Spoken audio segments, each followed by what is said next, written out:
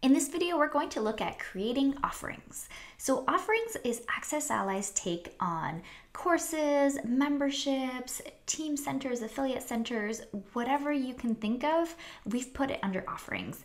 And these are pieces of content that you want to protect, whether they are free or paid or under subscription. So let's go ahead and create a new offering.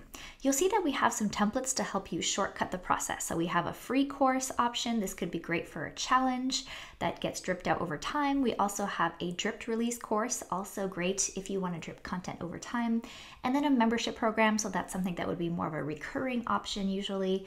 And then we also have a way to create team centers. So this is for bulk course enrollment. It could be a subscription or a one-time payment. Same goes for an affiliate center if you wanted to create a place for all of your affiliates to come, grab their links and get all of that information. And of course, you can start from scratch if you don't want to use a template. Let's go ahead and create a drip release course. So you'll want to name your course. And for this example, I'm just going to go ahead and keep this as a one-time payment of $100 and click next. And when I'm done, I say, yes, I wanna add my content. You'll see that everything is pre-populated, but we're still in pending mode. So we can make changes here.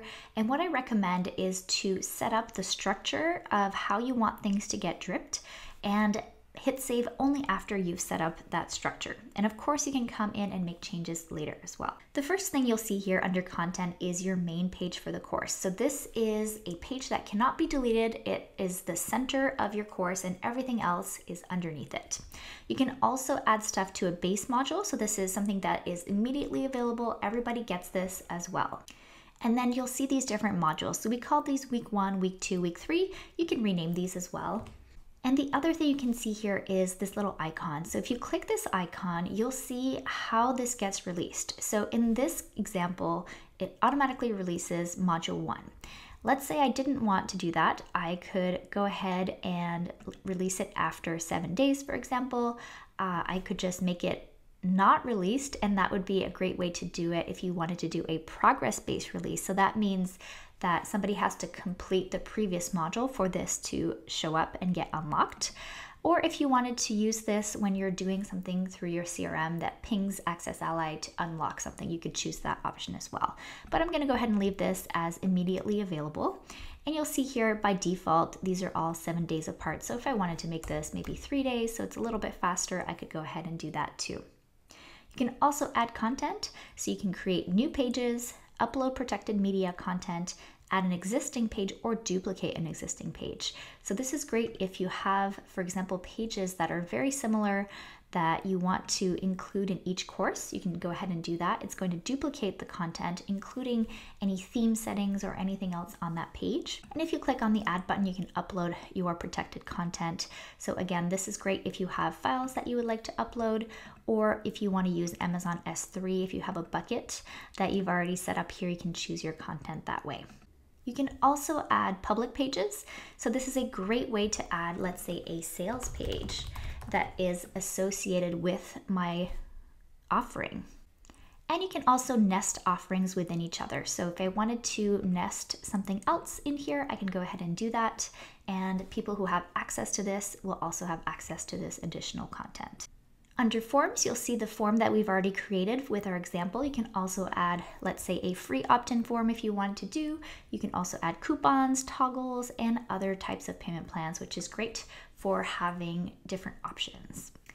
We're going to get back to settings in a second, but let's click on permissions. So these are all of the tags that will automatically get created for you as you hit save. So these will be created inside of your CRM and these will be used when people are purchasing or revoking and also as each module unlocks. So these are great to be used inside of your CRM, but if you're using AccessAlly's release functionality that is built in here, you don't need to worry about the tags as much. So let's say I'm happy with the structure, I'm gonna go ahead and hit save. And now all of these pages have been created and you'll see they're still in draft mode. So when I click on this, it will open it up in WordPress so I can edit the page, add content, videos, any of that stuff that I want to add and hit publish.